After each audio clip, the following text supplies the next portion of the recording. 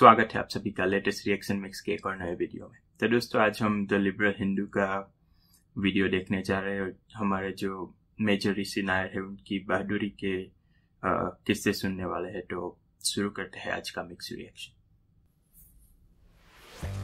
Disclaimer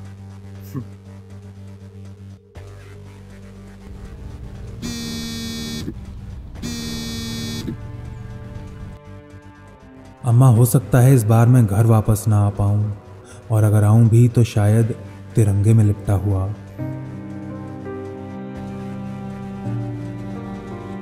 लेकिन मैं किसी भी हालत में वापस आऊँ, मुझे वचन दो कि तुम बिल्कुल भी नहीं रोगी बल्कि पूरे गर्व से सर उठा के मुझे अंतिम विदाई दोगी।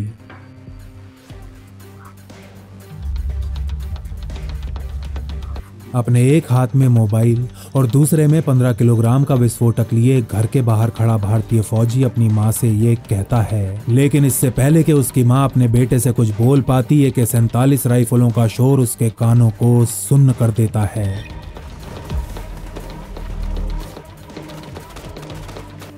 गोलियों की आवाज़ सुनते ही इस माँ के हाथों से फ़ोन छूटकर नीचे गिर जाता है, जिसमें अभी भी उसके बेटे की आवाज़ सुनाई दे रही थी। हेलो? हेलो अम्मा मेरी आवाज़ आ रही है आपको? कश्मीर से 3500 किलोमीटर दूर केरल के अलपूजा में डर के मारे जम चुकी राजलक्ष्मी नायर अभी अपना फ़ोन उठाने के लिए नीचे झुकी रही होती हैं कि तभी दूसरी तरफ़ से उनका बेटा कहता है। अम्मा घबराना मत मैं आपको बाद में कॉल करूँगा।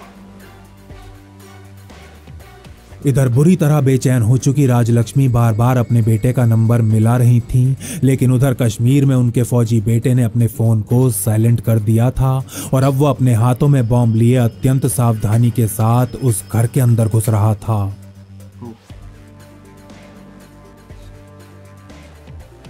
घर जिसके अंदर घुसने के ठीक तीन मिनट बाद इस इकतीस वर्षीय भारतीय फौजी के साथ कुछ ऐसा होने वाला था, जिसकी कल्पना मात्र से ही बड़े से बड़े वीरों की भी आत्मा काँप उठे। लेकिन अपने हाथों में पंद्रह किलोग्राम का आईडी लिए आगे बढ़ रहा यह मलयाली कोई आम वीर नहीं था, बल्कि भारतीय फौज की बयालीस राष्ट्रीय राइफल्स का एक महाशक्तिशाली मेजर था। फौलादी कलेजे वाला एक मेजर जो आज की रात यमराज के भैंसे को उसके सींगों से पकड़ बार बार पटकनी देने वाला था। अपने शरीर से गिर रहे मांस के लोथड़ों को एक हाथ में समेटे दूसरे हाथ से दुश्मन को धाराशाही करने वाले इस भीम का नाम था मेजर ऋषि राजलक्ष्मी नायर। नायर।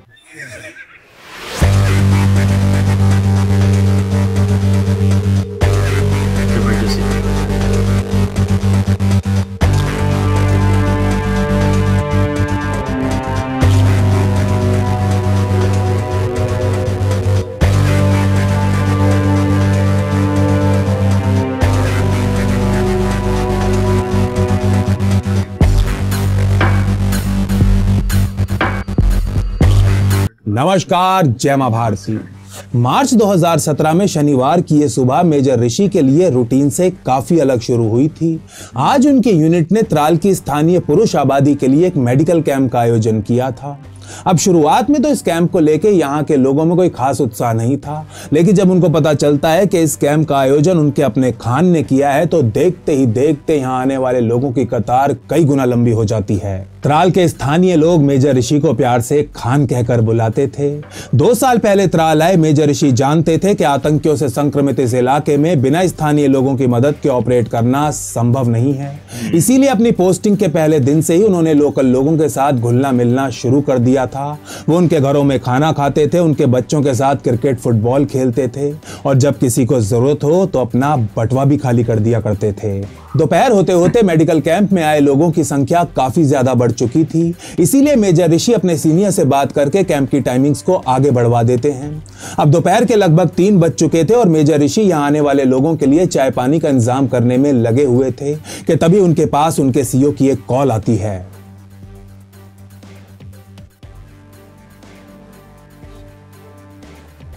ऋषि मेरे पास अभी अभी एक इनपुट आया है। हमारा एक हाई लेवल टारगेट हाफू गाँव में छिपा हुआ है। And guess what his name is Aqib Maulvi.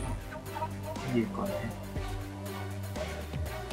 Hafeez Mohammad Aqib और वाकिब मौलवी कोई आम आतंकी नहीं था। अवंतीपुरा में जन्मे इस हिजबुल कमांडर को वानी 2.0 कहा जाता था। और वो इसलिए क्योंकि वानी की ही तरह ये भी सोशल मीडिया का दुरुपयोग करने में अच्छी खासी महारत रखता था। भारत सरकार के विरुद्ध प्रोपागेंडा करने और कश्मीर के किशोरों को ब्रेन वॉश करने के लिए आकिब ट्विटर, फेसबुक और इंस्टाग्राम जैसे प्लेटफॉर्म्स का पिछले कई सालों से सफलतापूर्वक इस्तेमाल करता आ रहा था। आँखों में सुरमा लगाने वाला ये शातिर आतंकी सोशल मीडिया स्किल्स के अलावा भारतीय फौज के ऊपर अटैक्स ऑर्गेनाइज करने और खुद को छिपा कर रखने में भी खूब महारत रखता था और उसकी यही महारत उसे बहुत ही जल्द आईएसआई की नज़रों में ले आई थी। तो काम ही है। यही कारण था कि बिना कोई समय गवाए मेजर ऋषि अपने साथियों के साथ हाफू गाँव की तरफ़ निकल पड़ते हैं। उन्हें मिले इंटेलिजेंस के अनुसार आज हाफू गाँव में आके मौलवी अकेला नहीं था, बल्कि उसके साथ जेईएम का एक और आतंकी सैफुल्ला उर्फ़ ओसामा भी छिपा हुआ था।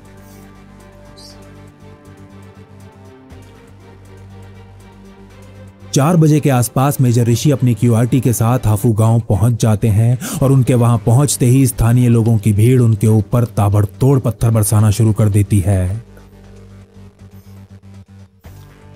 इस समय तक सीआरपीएफ और जे के पुलिस की यूनिट्स भी लोकेशन पर पहुँच चुकी थी। बिना कोई समय गवाए मेजर ऋषि इन यूनिट्स को पत्थरबाजों पर काबू पाने का आदेश देते हैं, जिससे कि वो और उनकी टीम अपने शिकार पर फोकस कर सके। मेजर ऋषि अच्छे से जानते थे कि यदि पत्थरबाजों की इस भीड़ ने उन्हें और उनकी टीम को दबा लिया तो आकिब अपने बचकर भागने के रिकॉर्ड में एक और सफल एस्केप जोड़ लेगा, और आज वो किसी भी कीमत पर ऐसा नहीं होने दे सकते थे।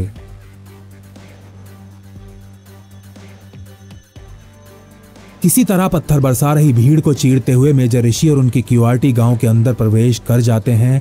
इसके बाद मेजर ऋषि क्यूआरटी को दो दो की टीम से बांट गाँव के एक घर की तलाशी लेने का आदेश देते हैं और खुद भी अपने बड़ी के साथ यहाँ बने घरों को क्लियर करने में जुट जाते हैं। लगभग आधे घंटे एक के बाद एक कई घरों को क्लियर करने के बाद मेजर ऋषि बाहर खुले में आकर खड़े हो जाते हैं।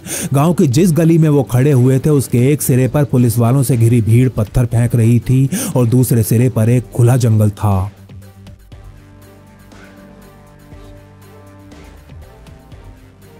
वो दोनों किसी भी दिशा में भाग सकते हैं और हो सकता है कि अब तक भाग भी चुके हों।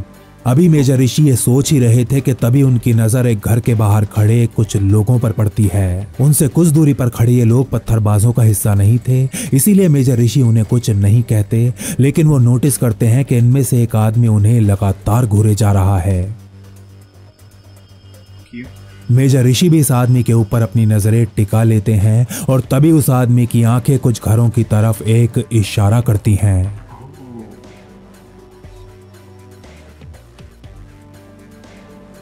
इस गाँव वासी से इशारा मिलते ही मेजर ऋषि उन घरों की तरफ़ चलना शुरू कर देते हैं। जंगल की दिशा में लगभग 200 मीटर आगे चलने के बाद एक घर के बाहर रुकते हैं और फिर पीछे मुड़ वापस उसी आदमी की तरफ़ देखते हैं तो वो बहुत ही धीरे से अपनी गर्दन हामे हिला देता है।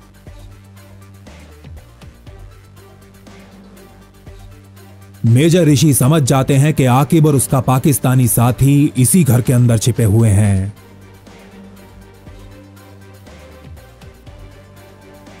मेजर ऋषि तुरंत अपनी टीम को इस घर के चारों तरफ़ एक घेरा बनाने का आदेश दे देते हैं। वो जानते थे कि यदि वाकई दोनों आतंकी इस घर के अंदर छिपे हुए हैं तो वो सर से पैर तक हथियारों से ज़रूर लदे होंगे। इसीलिए अपनी टीम के साथ घर के बाहर बनी दीवार के पीछे कवर लेते हुए मेजर ऋषि लाउड स्पीकर पर कहते हैं।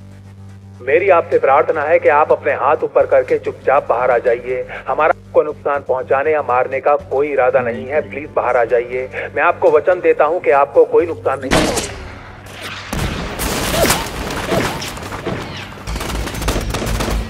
इन दोनों आतंकियों को सरेंडर नहीं बल्कि मरने मारने के लिए ट्रेन किया गया था। अभी मेजर ऋषि की बात पूरी भी नहीं हुई थी कि घर की दूसरी मंजिल से फौज के ऊपर ताबड़तोड़ फायरिंग शुरू हो जाती है। दूसरी मंजिल पर छिपे आकिब और सैफुल्ला अपनी पोजीशंस बदलते हुए ए के फोर्टी सेवन से मेजर ऋषि की टीम के ऊपर फायरिंग करना शुरू कर चुके थे। जे के पुलिस और सीआरपीएफ भी तुरंत इस ऑपरेशन का हिस्सा बन चुकी थी और इसी के साथ एक अत्यंत भीषण फायर फाइट का आरंभ हो चुका था। फायर फाइट जो बिना एक क्षण के रुके अगले कई घंटों तक ऐसे ही चलने वाली थी।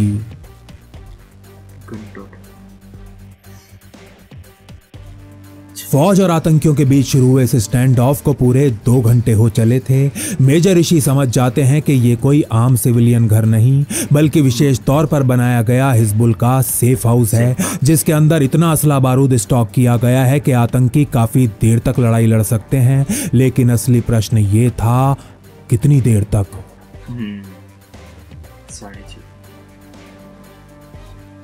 सूरज की आखिरी किरण ढलने से पहले मेजर ऋषि अपने हाथों में वो 15 किलोग्राम का आईडी उठाते हैं और पीछे से मिल रही कवर फायर की सुरक्षा में भारी दीवार को फांद घर की तरफ़ बढ़ना शुरू कर देते हैं। मेजर ऋषि के पीछे उनका बड़ी लांस नायक आवेश कुमार भी दूसरी मंजिल पर फायरिंग करते हुए आगे की तरफ़ बढ़ने लगता है और कुछ देर बाद बयालीस आर के दोनों फौजी घर के मेन दरवाजे पर पहुँच जाते हैं।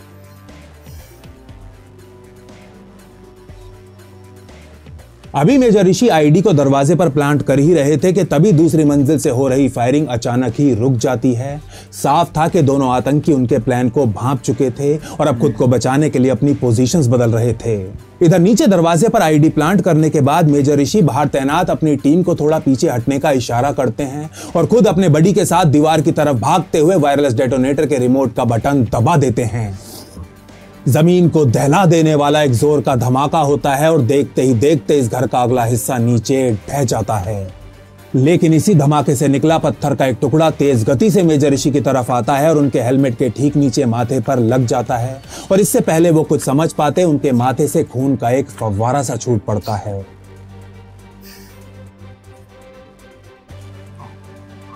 यही घर है। हिजबुल के सेफ़ हाउस का अगला हिस्सा मलबे में तब्दील हो चुका था। मेजर ऋषि और उनका बड़ी बाउंड्री वॉल के पीछे आ चुके थे और लगभग 15 मिनट की चुप्पी के बाद एक बार फिर दूसरी मंजिल से फायरिंग शुरू हो चुकी थी। मेजर ऋषि का एक साथी उनके माथे से रिस रहे खून को रोकने के लिए उनकी पट्टी करने में लग जाता है और इसी दौरान उनके दिमाग में एक और आइडिया आता है। मेजर साहब दोबारा घर की तरफ़ बढ़ेंगे। कवर फायर के लिए तैयार रहें। इधर बयालीस आर आर की क्यूआरटी को ये मैसेज मिलता है और उधर मेजर ऋषि एक बार फिर उस घर की तरफ़ बढ़ना शुरू कर देते हैं और इस बार उनके हाथों में आईईडी नहीं, बल्कि मोलोतोव कॉकटेल्स थी। कंपाउंड के अंदर पहुँचने के बाद मेजर ऋषि कुछ मोलोतोव्स को घर के अंदर अलग अलग हिस्सों में फेंक, पीछे हटना शुरू कर देते हैं और देखते ही देखते घर आग की लपटों में तब्दील होने लगता है। मेजर ऋषि को लग रहा था कि खुद को आग से बचाने के लिए दोनों आतंकी घर से बाहर भागेंगे ही भागेंगे, लेकिन ऐसा नहीं होता। लगभग 20 मिनट तक धू धू कर जलने के बाद आग शांत हो चुकी थी। घर का ज़्यादातर हिस्सा कोयला बन चुका था, लेकिन आकिब और सैफुल्ला अभी भी बाहर नहीं निकले थे। तो गए। आग की चंद आखिरी लपटों को छटपटाते हुए देख मेजर ऋषि का मन भी छटपटाने लगता है। उनकी एक और टैक्टिक फेल हो चुकी थी और कहीं ये पूरा ऑपरेशन भी फेल ना हो जाए ऐसा विचार मात्र मेजर ऋषि को बेचैन कर रहा था।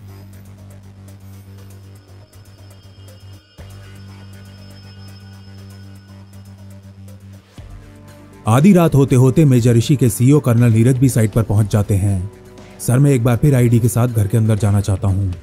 मेजर ऋषि की ये बात सुन कर्नल नीरज उन्हें कुछ ऐसे देखने लगते हैं जैसे अपने जीवन में पहली बार वो किसी पागल दीवाने को देख रहे हों। अपने माथे पर बंधी पट्टी को तो देखो, खून से लबालब हो चुकी है। तुम्हें पता भी है तुम्हारा कितना खून बह चुका है? इससे पहले के कर्नल नीरज की बात खत्म होती, अत्यंत व्याकुल मेजर ऋषि उनसे कहते हैं, सर, मुझे कुछ नहीं हुआ है। Believe me I am hundred and ten percent fit और हमारे पास कोई दूसरी ऑप्शन भी तो नहीं है। मेजर ऋषि की ये बात सुन थोड़ी देर कुछ सोचने के बाद कर्नल नीरज उनसे कहते हैं ठीक है, फिर कोई और आईडी लेके अंदर चला जाएगा, तुम यहीं रहो। नहीं सर, ये मेरा ऑपरेशन है और मैं ही जाऊँगा। प्लीज़ मुझे अंदर जाने की परमिशन दे दीजिए। आखिरकार सीओ साहब को अपने जिद्दी मेजर के सामने हार माननी ही पड़ती है। मन के इस बार मेजर ऋषि अपने एक्सपर्ट को 15-15 किलोग्राम की दो आईडीज असेंबल करने के लिए कहते हैं और वो कुछ ही मिनटों में दो आईडीज तैयार कर उनके सामने रख भी देता है। लेकिन जैसे ही मेजर ऋषि इनमें से एक विस्फोटक अपने हाथ में उठाते हैं, उन्हें एक अजीब सा पूर्वाभास होने लगता है।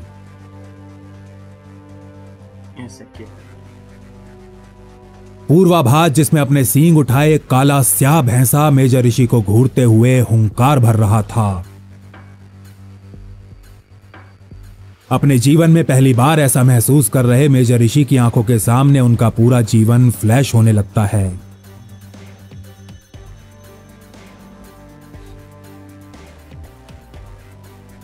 केरल के कॉलेज से इंजीनियरिंग की पढ़ाई करने के बाद उन्हें स्टेट इलेक्ट्रिसिटी बोर्ड में असिस्टेंट इंजीनियर, यानी कि एई की नौकरी मिल गई थी। एक ऐसी सरकारी नौकरी जिसे पाए इस देश के शायद 90 प्रतिशत मिडिल क्लास युवक जीवन भर के लिए संतुष्ट हो जाते, लेकिन मेजर ऋषि उन 90 प्रतिशत युवकों में से नहीं थे। एक साल बाद वो एसएसबी का एग्ज़ाम क्लियर कर एयर इंडिया ज्वाइन कर लेते हैं, जिसके चलते उन्हें मुंबई भेज दिया जाता है। लेकिन इस सरकारी नौकरी में भी उनका मन बिल्कुल नहीं लगता और इसका कारण था इंडियन आर्मी का वो कीड़ा जो उन्हें बहुत बुरी तरह काट चुका था। इसीलिए वो एसएससी का एग्ज़ाम देते हैं और पहली अटेम्प्ट में क्लियर कर आईएम में देहरादून पहुँच जाते हैं। 2010 में उन्हें आर्मी की मैकेनाइज इन्फेंट्री में कमीशन कर दिया जाता है। इस इन्फेंट्री में रहते हुए मेजर ऋषि अगले पाँच सालों के दौरान राजस्थान के रेगिस्तानों से लेकर कांगो में इंडिया के यूएन पीस कीपिंग फोर्स के साथ भी सर्व करते हैं। कांगो में सर्विस के दौरान जब वो एक महीने की छुट्टी पर भारत आते हैं तो उनकी शादी भी हो जाती है। और कांगो में अपना मिशन पूरा कर भारत लौटने के बाद उनका कॉम्बैट पोस्टिंग का सपना भी पूरा हो जाता है। सपना जो वो आर्मी ज्वाइन करने के पहले दिन से देखते आ रहे थे। 2015 में उन्हें राष्ट्रीय राइफल्स के साथ कश्मीर के त्राल सेक्टर में पोस्ट कर दिया जाता है।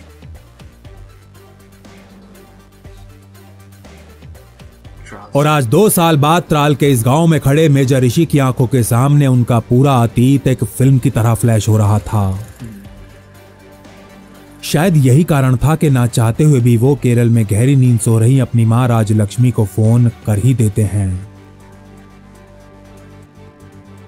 अपने नाम में पिता की जगह माँ का नाम लगाने वाला ये फौजी बेटा अपनी जान दाव पर लगाने जा रहा था और ऐसा करने से पहले वो एक बार बस अपनी माँ की आवाज़ सुनना चाहता था।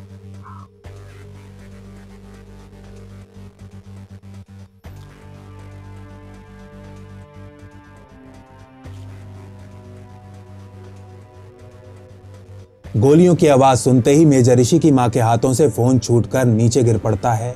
मेजर ऋषि कई बार हेलो हेलो करते हैं और जब उन्हें कोई उत्तर नहीं मिलता तो वो दूसरे आईडी को भी अपने हाथों में उठा घर के अंदर घुसना शुरू कर देते हैं।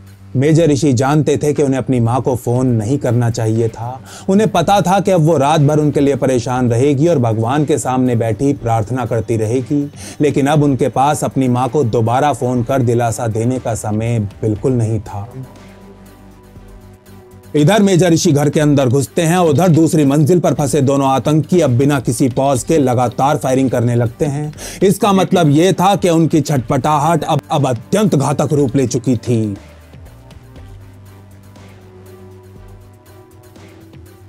अपने पेट के बल अंदर घुसने के बाद मेजर ऋषि दोनों आईडीज को ग्राउंड फ्लोर पर घर के साबुत बचे हिस्से में प्लांट कर देते हैं और एक बार फिर घर से बाहर की तरफ़ रेंगने लगते हैं। बाहर आते ही मेजर ऋषि वॉकी टॉकी पर अपने बडी को 30 सेकंड का काउंटडाउन शुरू करने का आदेश दे देते हैं।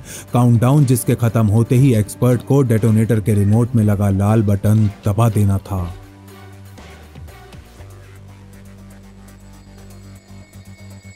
इधर लांस नायक आवेश कुमार काउंटडाउन शुरू करते हैं और उधर मेजर ऋषि घर की विपरीत दिशा में दौड़ने लगते हैं। दो आईडीज का मतलब था दो गुनी तीव्रता और दो गुनी तबाही। तेरह बारह ग्यारह दस। रुक जाओ बटन मत दबाना। आई रिपीट बटन मत दबाना। डेटोनेशन में केवल 10 सेकंड बचे थे कि तभी रेडियो पर मेजर ऋषि की तरफ़ से काउंटडाउन रोकने का ऑर्डर आता है। घर से सुरक्षित बाहर निकलने के बाद मेजर ऋषि को अचानक ये लगने लगता है कि यदि इन आईडीज को घर के और ज़्यादा भीतर प्लांट किया जाए तो वो कई गुना ज़्यादा प्रभावशाली साबित होंगे। इसीलिए अपनी टीम को इंतज़ार करने का आदेश दे वो एक बार फिर घर की तरफ़ दौड़ना शुरू कर देते हैं।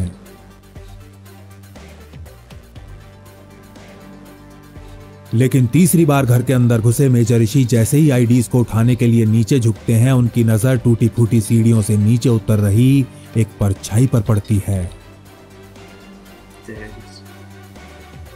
इधर मेजर ऋषि का हाथ अपनी राइफल के ट्रिगर पर जाता है और उधर दुश्मन की बंदूक से निकली कई गोलियाँ सीधा आकर उनको लग जाती हैं।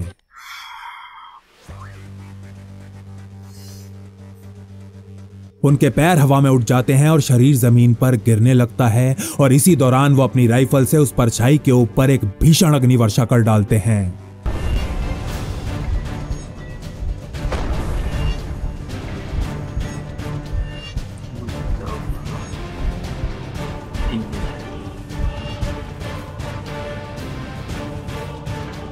एक तरफ़ तो सीढ़ियों से उस आतंकी का बेजान शरीर रेत की बोरी की तरह नीचे गिरता है और दूसरी तरफ़ मेजर ऋषि भी ज़मीन पर पड़े होते हैं। इस समय मेजर ऋषि का आधे से ज़्यादा चेहरा नीचे लटक रहा था। वो बोल नहीं पा रहे थे और उनकी दृष्टि भी धुंधली पड़ती जा रही थी। लेकिन इस सब के बावजूद भी ये मलयाली बब्बर शेर अपने चेहरे से गिर रहे मांस के लोथड़ों को एक हाथ में संभालता है और दूसरे हाथ से ऊपर की तरफ़ फायरिंग करता हुआ अपनी कमर के बल इस मौत के पिंजरे से बाहर निकलने लगता है।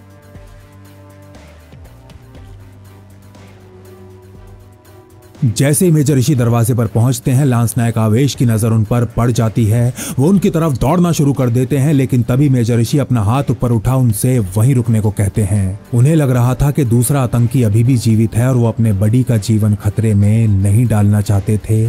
दो साल पहले उन्होंने अपनी टीम को वचन जो दिया था।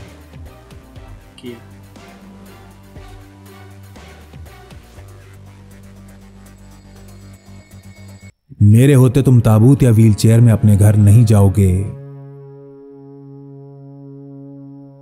वैसे तो तुम लोग ही मेरी असली ताकत हो, लेकिन फिर भी दुश्मन की बंदूक से निकली हर गोली को तुम तक पहुँचने से पहले मेरा सामना करना होगा। यह मेरा तुम सबसे वादा है।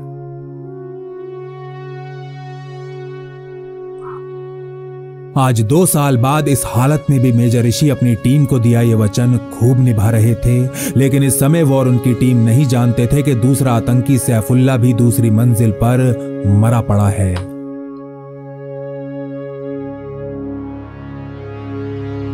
इस बात से अनभिज्ञ मेजर ऋषि किसी तरह घर से बाहर निकलते हैं और फिर खुद को दरवाजे पर बने तीन फुट ऊँचे चबूतरे से नीचे गिरा लेते हैं। उनके नीचे गिरते ही लांस नायक आवेश के साथ दो और फौजी दौड़कर उनके पास पहुँच जाते हैं, जिसके बाद लांस नायक आवेश दूसरी मंजिल की दिशा में फायरिंग करने लगते हैं और बाकी दोनों फौजी मेजर ऋषि को खींच कंपाउंड से बाहर ले जाते हैं।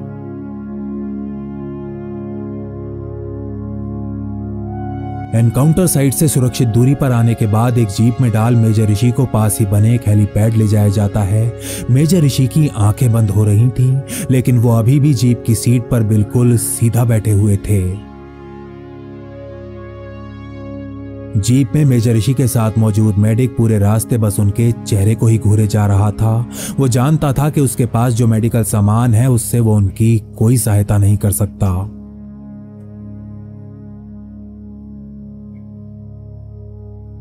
कुछ मिनट बाद मेजर ऋषि को ले एक हेलीकॉप्टर श्रीनगर के 92 बेस हॉस्पिटल के लिए निकल जाता है। इधर नीचाई पर उड़ता हुआ यह हेलीकॉप्टर श्रीनगर की तरफ़ बढ़ रहा होता है और उधर मेजर ऋषि की यूनिट का एक फौजी उनकी पत्नी को फ़ोन मिलाता है। मेजर ऋषि की पत्नी अनुपमा भी इंडियन आर्मी में ही एक मेजर थी और इस समय मिलिट्री नर्सिंग सर्विस के अंडर 92 बेस हॉस्पिटल में ही सर्व कर रही थी।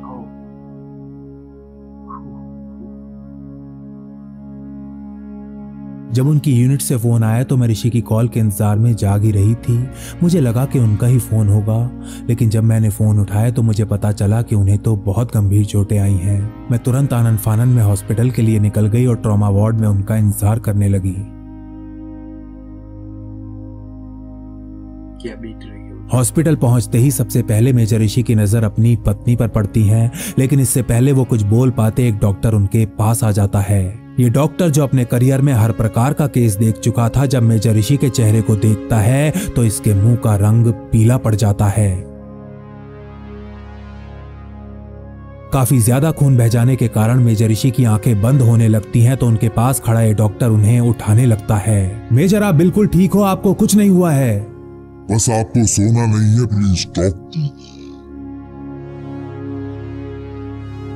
अपना आधे से ज़्यादा चेहरा खो चुके मेजर ऋषि चाहकर भी बोल नहीं पा रहे थे।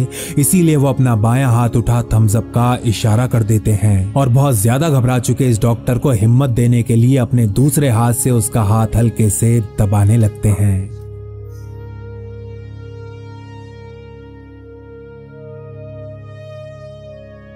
92 बेस हॉस्पिटल में ज़रूरी इमरजेंसी प्रोसीजर्स पूरा करने के बाद मेजर ऋषि को दिल्ली स्थित इंडियन आर्मी के प्रतिष्ठित रिसर्च एंड रेफरल हॉस्पिटल ले जाने को कहा जाता है। और अगले दिन की सुबह मेजर ऋषि और उनकी पत्नी इंडियन एयरफोर्स के सी वन विमान से दिल्ली के लिए निकल जाते हैं। इसी दिन यूनाइटेड जिहाद काउंसिल, जो जम्मू कश्मीर में एक्टिव पाकिस्तान आर्मी का एक संगठन है, आकिब और सैफुल्ला की मौत पर शोक प्रकट करते हुए एक बयान जारी करता है। हफीज मोहम्मद आकिब और फाकिब मौलवी और सैफुल्ला और उसामा जम्मू कश्मीर के दो चमकते हुए सितारे थे। दो ऐसे हीरे थे जिनकी चमक कभी कम नहीं होगी। इन दोनों की कुर्बानी को हमेशा याद रखा जाएगा। कश्मीर के इन दोनों सितारों को बुझाने वाले मेजर ऋषि को कई दिनों के बाद उठने और बैठने की अनुमति दे दी जाती है। आठ सर्जरीज और अत्यंत गहन उपचार के बाद जब मेजर ऋषि बोलने की स्थिति में आते हैं तो वो सबसे पहले 18 मार्च के अखबार मांगते हैं। वो इन अखबारों में अपने हाफू ऑपरेशन की खबरें पढ़ना चाहते थे। एक सफल ऑपरेशन जिसके दौरान वो कई बार जलते नरक के मुँह में घुसे थे और जीवित वापस भी आए थे। दिल्ली के आर आर में भर्ती होने के कुछ दिन बाद मेजर ऋषि की माँ राजलक्ष्मी भी अपने बेटे से मिलने आती हैं। उनका बेटा जो अपना आधे से ज़्यादा चेहरा हमेशा हमेशा के लिए खो चुका था। लेकिन अपने बेटे का पूरी तरह पट्टियों से ढका हुआ चेहरा देखने के बाद भी ये माँ अपनी आँखें नम नहीं होने देती। उसके बेटे ने उस रात उससे ना रोने का वचन जो मांगा था।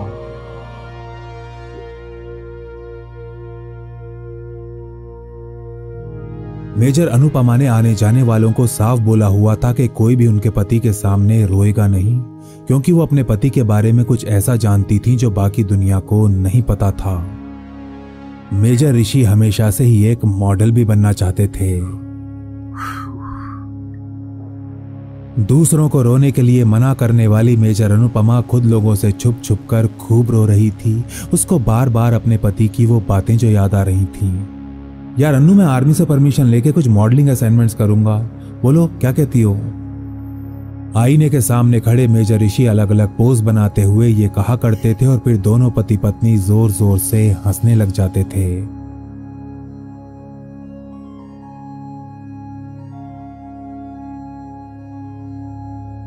मेजर ऋषि से सबसे पहले मिलने आए लोगों में उस समय के army chief general Bipin Rawat भी शामिल थे। जब से उन्होंने उनकी वीरता और चोटों के बारे में सुना था, वो खुद हॉस्पिटल जा उनसे मिलना चाहते थे। आर्मी चीफ के साथ हुई इस मुलाकात को याद करते हुए आज भी मेजर ऋषि की आँखों में आँसू आ जाते हैं।